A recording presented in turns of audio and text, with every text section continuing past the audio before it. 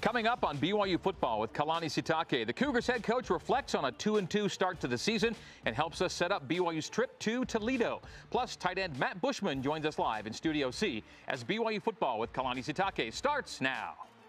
This is BYU football with Kalani Sitake, presented by Intermountain Healthcare. And now, your host, the voice of the Cougars, Greg Wrubell. All right, hello once again, Cougar Nation.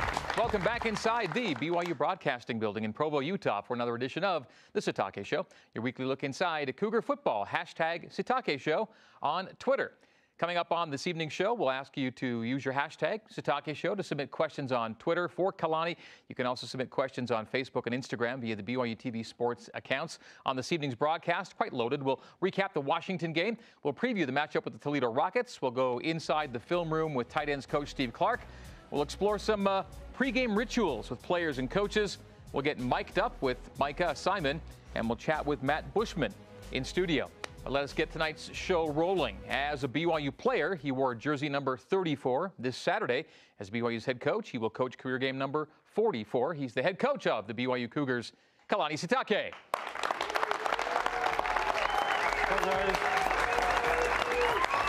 How you doing? To you guys. All right. What's up? I'll give you one. What's up, Greg? How you doing? You bet. Hi, everyone.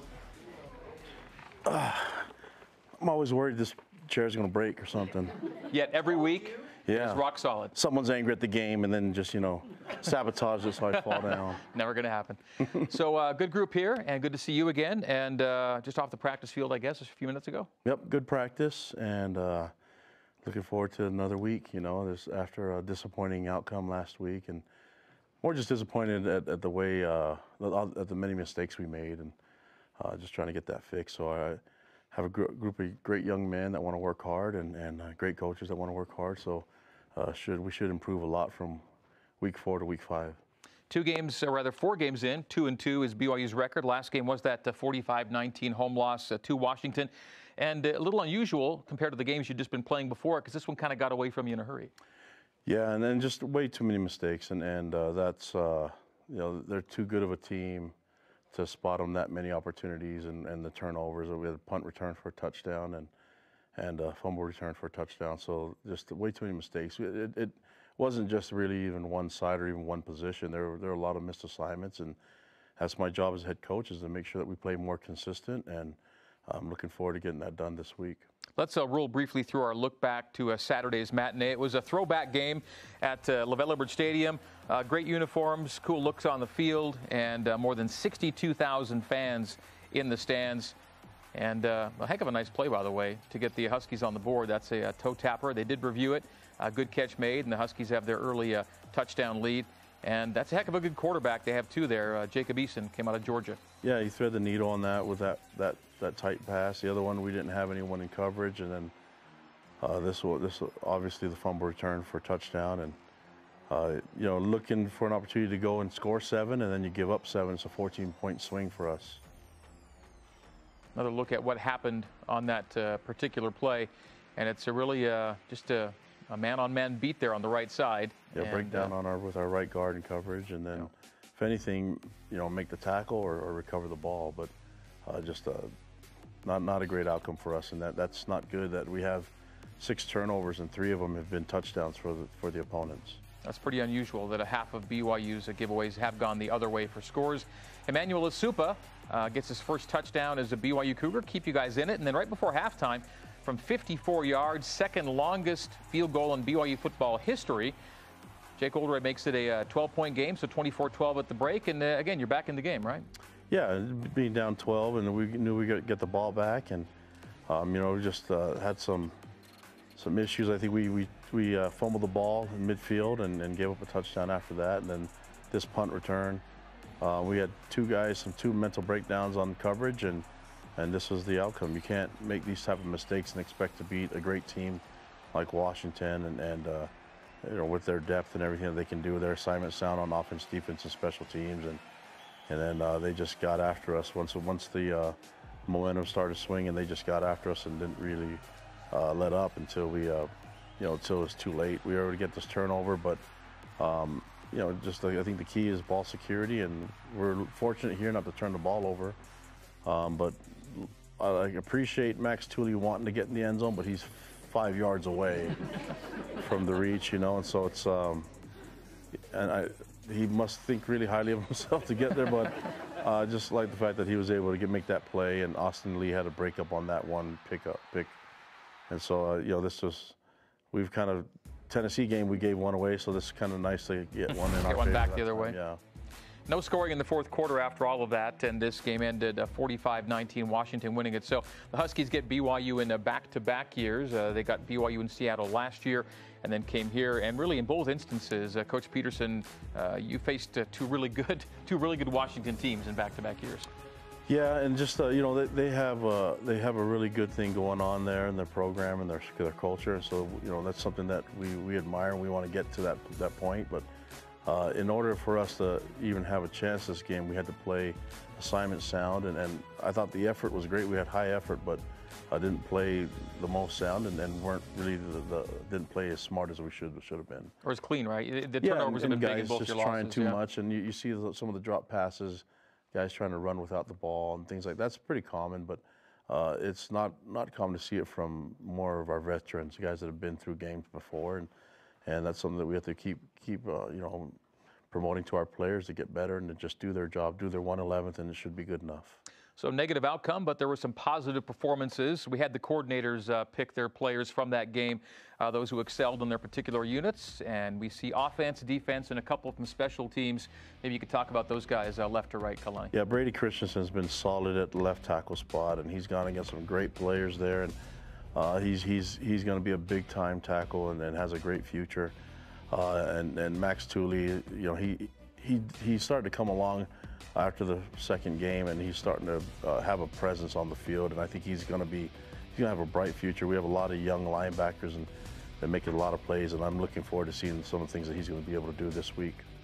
And then Skyler has been solid on his kickoffs, and you know we, we try to challenge him a little bit to return some, but they wouldn't do it. And and uh, but he's been really pinpoint with his with his with his kicks on kickoffs, and uh, Trajan Pili did an amazing job at, at protecting the punter and and and, also in covering. So uh, those guys have been solid, and uh, looking forward to seeing them produce more as we go through next week. Okay, last week's uh, players of the game. Saturday's game saw Ty'Son Williams uh, leave the game with an injury in the second quarter, so he was certainly done for the day. And then we found out later that he's uh, done for uh, the season. Uh, man, just a, a damaging loss for the team.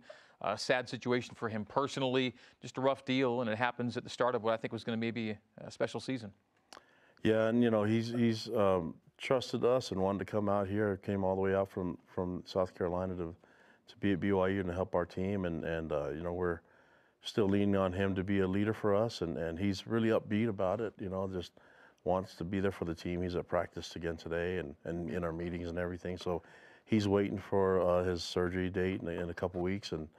Um, I know that that uh, a lot of the thoughts and prayers that are going out to him from the fans, he really appreciates, and so appreciate all you guys reaching out to him. You know, this is something that he doesn't regret ever coming out here, and and uh, you know, hopefully we'll see what happens with compliance and everything if he can get that year back. If not, he's a part of our BYU family, and I know everyone take good care of him.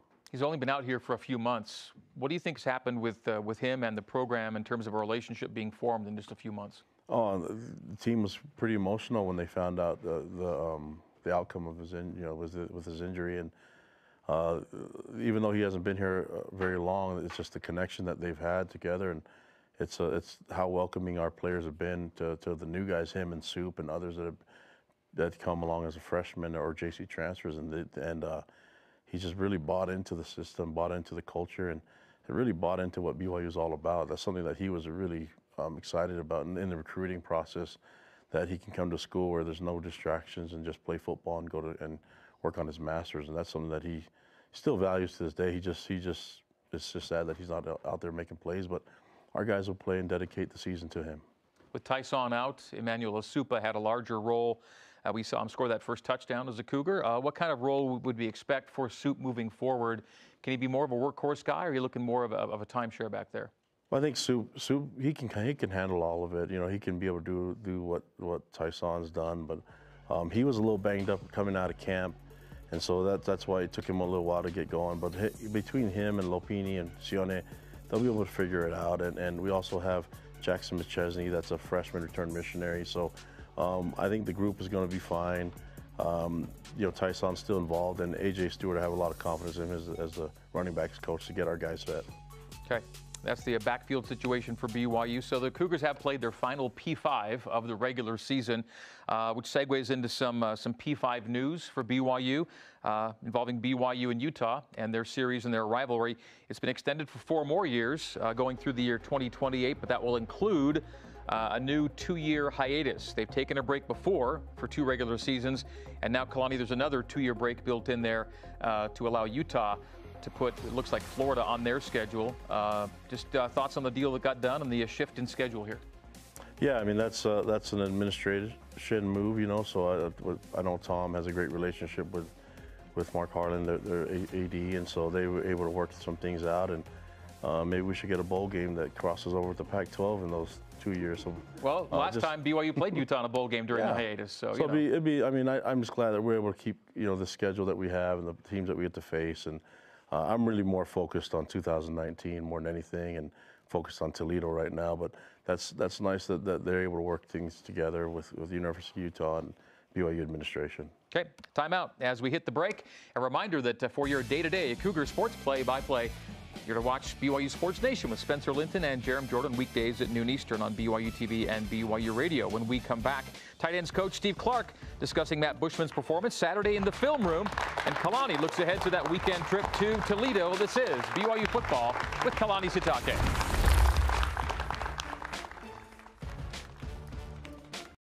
They prefer to be bringing the heat, getting set for success demonstrating their drive. But when their blood and sweat turns to tears or anything else, we lay the groundwork for BYU's athletes to hit the ground running again. And you as well. Intermountain Healthcare, official medical provider for BYU Athletics. Call it a path. Or way through. It can be arrow straight or have twists and turns. It's life's financial journey, and Mountain America Credit Union is here to guide you every step of the way with timely advice and affordable products. This is your journey. Let's begin together. We're Mountain America, guiding you forward. Tim Dahle Ford in Spanish Fork offers a large inventory of Ford vehicles, including a selection of cars and trucks, providing a range of transportation choices. From the Ford Fusion sedan and the Edge crossover SUV to a range of pickups including the F-150. Each product line comes with options to enhance performance, comfort, and safety. Think Ford, think Tim Dahle Ford in Spanish Fork. If I got hurt and was laid up at home, I wouldn't even think to call a lawyer. What a hassle. I'd want to meet them first. What if I told you that for your first consultation, your lawyer will come to you, home or hospital? Really? Really. They do that? If you've been seriously injured, we'll come to you. It's your job to get better. It's our job to deal with the insurance companies and protect your legal rights. Learn more at siegfriedandjensen.com. BYU football with Kalani Sitake is brought to you by Intermountain Healthcare, healing for life. BYU's only other meeting with Toledo was in 2016 in a game that featured that 286 yard, five touchdown